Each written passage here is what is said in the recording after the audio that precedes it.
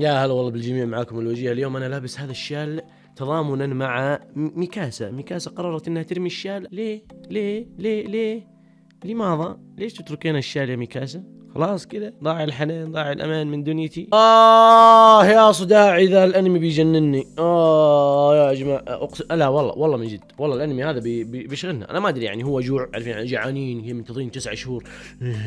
متى يجي هجوم العمالقه متى يجي Attack on Titan بعدين فجأة انصدمنا كذا نسينا خلال تسع شهور نسينا قديش إنه ال 20 دقيقة ذي تمر ب بالذات لما يكون الحلقة فيها طحن 20 دقيقة تصير خمس دقائق حرفيا ثلاث دقائق. طحن طحن طحن. ألو to be continued أي أي مدير أسبوع ثاني انتظر. كيف كذا؟ الحلقة عبارة عن تلطيم وتمطيط وأخيرا سقطه العملاق الوحش اللي خلتنا نقول اح أحيزيك. إيش هذا؟ معليش. لاحظوا صوتي فيه. ما في شيء جديد. الوجيه مريض. إيش في جديد؟ الوجيه أصلا كذا خلق مريضا. 24 ساعة مزكم حلق وجعان لوز. خلوكم معايا أعزائي الوجهاء وعزيزاتي الوجيهات ويلا بينا نتكلم عن الحلقة الثانية من ال part الثاني للموسم الأخير من أنمي Attack on Titan. يا هلا والله بالجميع معكم الوجيه. في حال إنكم ما تعرفوني وهذه زيارتكم الأولى للقناة. نورتوا والله منورين. اشتركوا في القناة لو ما كنتم مشتركين. وفعلوا جرس التنبيهات عشان يوصلكم فيديوهاتي أول بأول. والأهم من هذا كله إيش رأيكم بالتيشيرت الثاني اللي وصلني من إيدو؟ فخم صح. نظرات القائد ليفاي اللي الله يطمنا عليها في أقرب فرصة. أنتم كمان يا جماعة تقدروا تطلبوا نفس هذا التيشيرت أو البلوفر اللي شفتوه في الحلقة الأولى أو غيرها من التشكيلات الجميلة جدا. لأنمي هجوم العمالقة عن طريق متجر إيدو واللي هم الراعي الرسمي لهذا الموسم كامل. آه فيب راح تلقوا روابطهم في صندوق الوصف. بضاعتهم جدا نظيفة وأسعارهم جدا ممتازة. راح تصير أسعارهم أفضل وأفضل لو استخدمت عند عملية الشراء كود وجيه اللي راح يظهر لكم هنا في الشاشة. طيب يا جماعة الخير كل اللي أقدر أقوله إنه حلقة اليوم زي ما قلت لكم كان فيها تمطيط يعني للأمانة ملهوش لازمة، حرفيا يعني في احداث كان المفروض ما تأخذ ثواني كذا لمحة بس وتخلص مططوها. يلا نهرول في الدرج درقن درقن درقن درقن درقن. يلينا يلينا لحالها نظراتها. يقول ام النظرات إيش في؟ إيش في يا يلينا؟ لوهله حسيت إنه في عملاق جديد راح يظهر. في عملاق سري ما حد يعرفه. عند يلينا إيش ذا؟ إيش ذا؟ إيش ها؟ كيف ننام؟ كيف ننام الحين؟ مين يقدر ينام بعد الصورة دي تقدر تنام أنت بعد النظرات دي تبع يلينا لا بس فعلا يعني تحس إنهم مخططين ينهون الحلقة عند حدث معين وصار عندهم فراغات كثيرة كذا في الحلقة. إيش نسوي؟ خلي الجماعة يجروا طولوا الجريه شوية. إيه خلوا يلينا تطالع في آرمن كذا تخرج أمه وتخرجنا معاه شوية. آه خلوا الجماعة يقعدوا يلفلفوا كذا. ملوا إحشوا الحلقة بأي شيء لين نوصل للحدث النهائي وقفلوا الحلقة. literally حرفيا هذا اللي صار. أنا الحمد لله إنه اللي في يدي كانت مناديل. أنا مزكم وماسك مناديل وأنا أتابع الحلقة تمام؟ الحمد لله إنها كانت مناديل. لأنه لما انتهت الحلقة على ذاك الحدث المهم أقسم بالله إني رميت المنديل بكل قوتي على الشاشة. الحمد لله إنه ما كان فنجال ولا كوب ولا مصيبة ولا كان انكسرت الشاشة. آرمن يا جماعة يقول يا أخواني يا أعزائي يا حبايبي شوية إيمان ما يضر. بارادايس ماكلة تراب ماكلة تراب بوجود إيرين ولا بعدمه بحياته أو موته. فخلونا نراهن على الرمة ذا إيرين. صح إنه ضربني وصح إنه سوى فيني الهوايل ولطمني تلطيم. صح إنه جرح ميكاسا وقال لها كلام يسم البدن. بس يا أخوان إحنا لازم إيش؟ نحط شوية إيمان أو نتمسك في البصيص البسيط من الأمل هذا. لعله إيرين فعلا في صفنا وكل اللي سواه هذا مجرد مسرحية. الجماعة اللي حوالينه شوف يا حبيبي. إحنا والله معاك صراحة في الموضوع. بالذات جان قال شوف يا حبيبي أنا صراحة ما أبغى إيرين يموت. أنا أحتاجه في حياتي. الرمة هذا أصلا هو اللي معطي لحياتي معنى. إذا مات أنا إيش مني فايدة؟ ما في. خلاص خلونا نروح نساعد إيرين. فايب اتفقوا الجميع على إنه لازم يروحوا يساعدوا إيرين ايا كانت خطته. ولكن الأغلب كانوا يعني يبوا يساعدوه لأنه لعله باقي فيه أمل إنه بالفعل راح يكون عنده خطة ثانية غير الخطة المعلنة. هل كلامهم صحيح؟ هل كلامهم غلط؟ إلى الآن إحنا اللي عرفناه من طريقة ردي لينا على موضوع إنه إيش في. ترى إيرين نزل الميدان يركض. ونزل يضارب لأن هذا جزء من الخطة إنه يقابل زيك اللي جاي من الجهة الأخرى من السور. مع إنه الحيوان إيرن كان بإمكانه يمشي من تحت الأرض ويطلع من خارج السور ويقابل زيك هناك ويسوي اللمسة حقتهم هذه ويفعلوا العملاق المؤسس من دون المشاكل دي اللي صارت. بس لا إحنا نتكلم عن إيرن عبيط. أفكر أنا خوف. أنا ينزل هنا أسوي جنجال مع هذا عملاق عربة عملاق فك. أنا عملاق راينر راينر هذا أنا ألطم أمه. آخر شيء لا حصلت اللمسة ولا فعلوا مؤسس ولا شفنا عمالقة دك. يا خلاصة الكلام إنه آرمن والشلة اللي معاه ميكاسا وكله إيش؟ قالوا يا أبويا يلا خلينا نروح نساعد الحمار حقنا أفضل من إنه يقتلوه حمير ثانيين. برضه في حلقة اليوم يا جماعة الأنمي هذا والكاتب والقصة جالسة تثبت لنا كيف إنه إيرين مرة مرة ما عاده سهل. ما هو ما هو سهل ما هو سهل. ترى مرة صاير مرة قوي. تتكلم عن عملاق فك وعملاق راينر وبيك والمدفعية تبع آه، شو اسمه ماجث وما زال قاعد يقاوم وقاعد يق... ومش مقاومة نايمة قاعد يستخدم قوة المطرقه وقوه المهاجم وصرخاته آه يا صرخاته آه يا صرخات إيرن اللي أظن وصلت للعالم كله مش بس بارادايس. ف yep إيرن يا جماعة مرة مرة وصل إلى مرحلة عالية جدا من القوة. okay أكيد إنه قوي يا وجيه م- عملاق مؤسس وعملاق مهاجم وعملاق فك في بطنه أكيد إنه بيصير معضل. مش معناته إنه عندك عمالقة معناته انك قوي. ايرن مرة تمكن منهم. هذا اللي أقصده. أسكت. إيش الكلام ده لحظة وصول زيك للأمانة كانت من أروع اللحظات. تعرف كذا لما تكون مرة ماكل تراب ويجيك كذا نصر من الله وفتح قريب؟ هذا اللي صار زيك. زيك كذا ظهوره. أخ.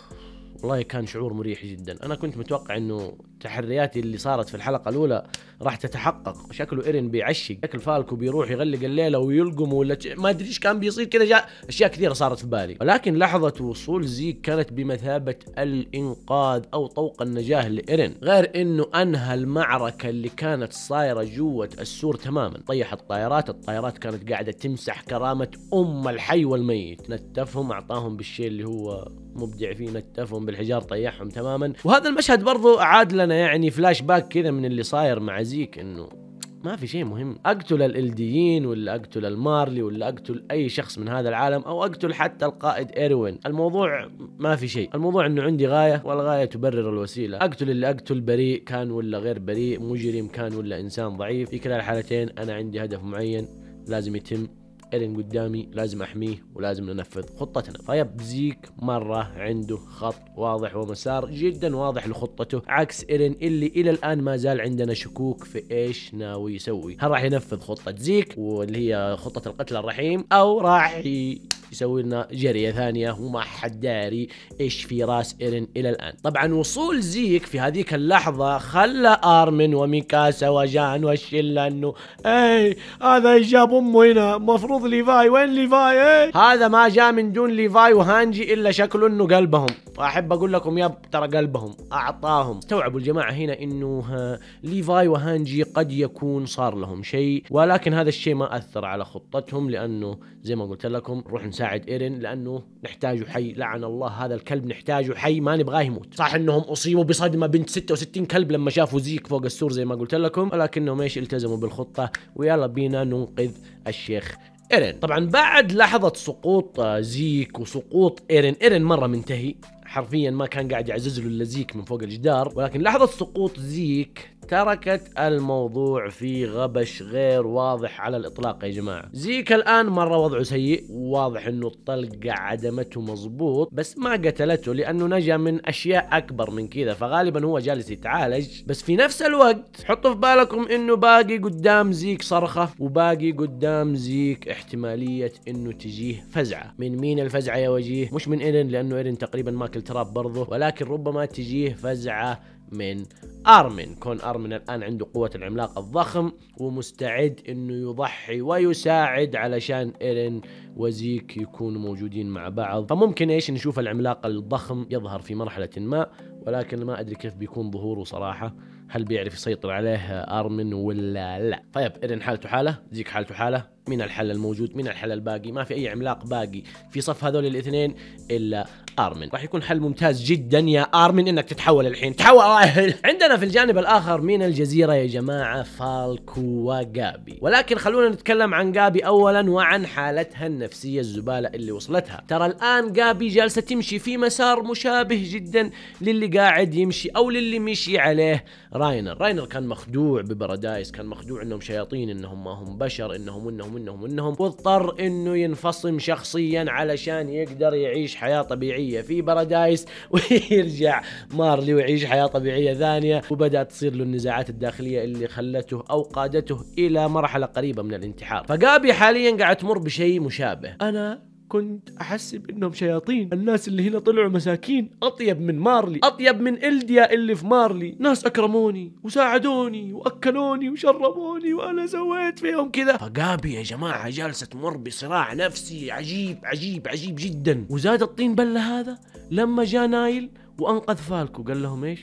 خذوا فالكو. ما هو مكان مناسب للأطفال. توكلوا على الله. فزاد الطين بلة قالت امي أنا إيش سويت قتلت ساشا؟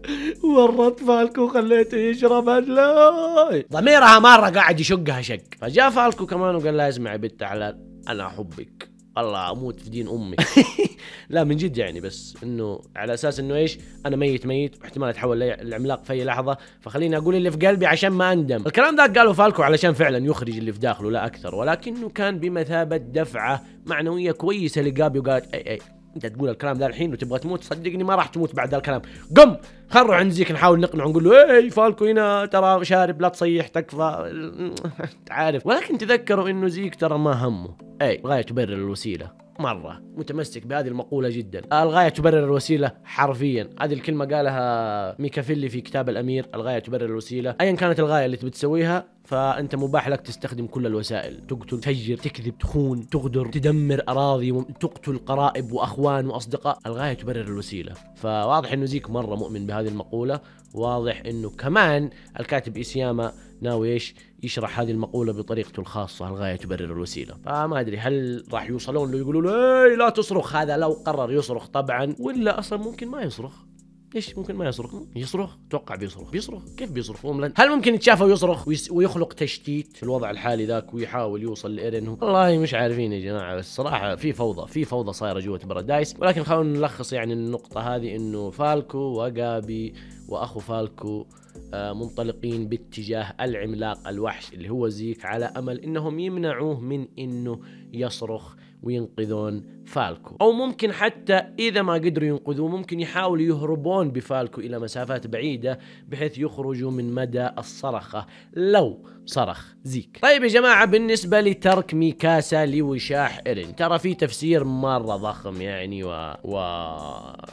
ويحمل في طياته الكثير من المعاني الوجودية والفلسفية. ترى فعلا ترك ميكاسا لشال إيرين أو أنها فكته من رقبتها. ترى علمكم من يوم كانت قد كذا من يوم أنقذها إيرين في في بدايته وهي طفلة إلى اليوم هذا ميكاسا كانت طول الوقت حاطة الشال تبع إيرين حوالين رقبتها وكلنا عارفين قد إيش ميكاسا مرة مرة تحب إيرين. فحكاية إنها تشيل الشال وتستغنى عنه. ترى هذا يفسر إنه في مشاعر كثيرة اختلفت داخل ميكاسا أو على الأقل إذا ما اختلفت فهي جالسة تحاول تخرج من كومة المشاعر الجياشة. تجاه إيرين لعلها يعني إيش ترضى بفكرة انها yep maybe أنا عبده يمكن أنا عبده who gives a fuck خليني بس أروح أنقذه وزي ما تجي تجي ولكن برضو خليني أحاول أطلع الحيوان ذا من قلبي وك وكخطوة أولى رمت الشال. يا وجيه ترى شال. أحمر أغبر أدبر من يوم من 20 سنة وهو في رقبته تلاقي ريحته الحين سيئة جدا. إيش اللي يعبر عن الحب؟ إذا أنت يا عزيزي الوجيه عزيزتي الوجيه تشوفون إنه الشال ذا اللي حوالين رقبة ميكاسا مجرد شال أحب أقول لكم أحي عيب عليكم عيب عليكم. هذا هذا تقريبا أغلى شيء في حياة ميكاسا حرفيا. طيب يا جماعة زي ما قلت لكم حرفيا حلقة اليوم ما في أحداث كثيرة ما في شيء قابل للتحليل ولا للتوقع ولا لأي شيء يعني إيش ممكن يصير غير إننا شفنا الحرب في يعني أتعس وأصعب صورة. الحدث المهم المنتظر في الحلقة القادمة واللي نتمنى نلقى له إجابة وما تنتهي بجحفلة زي اللي صار اليوم. إيرين وزيك هل راح يتم التواصل بينهم وتفعيل قوة العملاق المؤسس؟ ومن ثم تفعيل قوة دك الأرض ولا هل راح إيرين ينصاع لخطة زيكو بالفعل؟ يستخدم قوة العملاق المؤسس لتفعيل خطة القتل الرحيم وإيقاف العرق الإلدي من التكاثر. ولا بيكون في شيء ما حد قادر يتوقعه؟ يعني إحنا قاعدين نقول توقعات كذا من الأشياء اللي بديهية كل واحد بيتوقعها. غير كذا هل راح يصرخ زيك ويحول أكثر من 300 شخص داخل بارادايس بما فيهم فالكو إلى عمالقة كنوع من التشتيت؟ مثلا يعني نفترض إنه مرة الوضع مرة صار زبالة ممكن زيك يصرخ ويخلي العمالقة ذول يخرجوا بشكل عشوائي ويصنع لنفسه ولإيرين تشتيت بحيث يقدروا يفعلوا قوة العملاق المؤسس. أو هل راح يوصل فالكو وجابي وأخوه وأخو فالكو إلى إيش اسمه ذا تبن زيك؟ يقولوا له أي مدير لا تصرخ داخلين على ثم عليك خلينا نروح بعيد شوية كذا بعدين نصرخ إذا أنت مرة صامل. فما أدري برضو هذه الإجابة راح نحتاجها وأتمنى إنها تظهر في الحلقة الجاية أتمنى كذا كفاية. كذا كفاية. غير كذا هل راح نشوف العملاق الضخم بواسطة ارمن ولا لا؟ مو شرط بشكل كامل يعني. أنا في بالي كذا إنه ممكن آه، ارمن يتحول إلى جزء كذا بسيط من عملاق ضخم علشان يحمي آه، زيك وإيرين. ممكن. يعني زي ما سووها زمان آه، بيرتولد.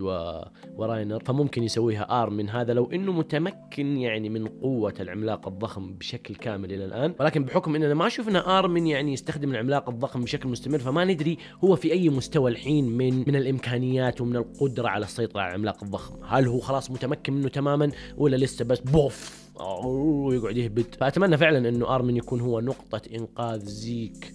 وإيرين من الوضع السيء اللي هم فيه. زيك منتهي. إيرين تقريبا وضعه مرة منتهي بالذات بعد سقوط زيك. فتقريبا حرفيا حاليا الحلقة الوحيدة اللي ممكن تنقذ زيك وإيرين من وضع التبن اللي هم فيه آرمن. فطيب نتمنى أن نشوف إيش بيصير معاهم. إلى هنا يا جماعة نكون وصلنا لنهاية الفيديو. نظرياتكم وتوقعاتكم وتحليلاتكم اكتبوها في التعليقات. خلوا حقين المانجا يطقطقوا علينا شوية. واضح إنهم مرة متونسين علينا فاهمين؟ الله يا أخي ذولي نظرياتهم بريال. يمكن قاعدين يطبلوا لنا. أنا ما قرأت التعليقات بس يمكن حقين المانجا يقولوا أوف والله الوجيه جابها. بالله جبت بالله جبتها. في شيء جبته يلعن أم الفلة لو في شيء جبته أحس بفخر كبير. لا تنسوا اشتراك في القناة يا جماعة. لو ما كنتم مشتركين وتفعيل جرس التنبيهات عشان يوصلكم فيديوهاتي اول بأول والأهم من هذا كله اذا عجبكم الفيديو. اضغطوا على زر ال like لأنه مرة مهم. وبيساعدني كثير. ولا تنسوا برضو تشيكوا على متجر إيدو اللي جابوا لي التيشيرت هذا وال pullover القديم أو ال pullover اللي صورت فيه الفيديو الأول. آه وتستخدموا كود الخصم تبعي وجيه. وطيب ترى منتجاتهم مرة حلوة. شيكوا على المتجر. أنا أبغاكم بس تاخذوا لفة على متجرهم لأنه عندهم منتجات الهجوم العمالقة مرة فخمة وغيرها برضو من المنتجات. كان معكم الوجيه أشوفكم في الفيديو القادم.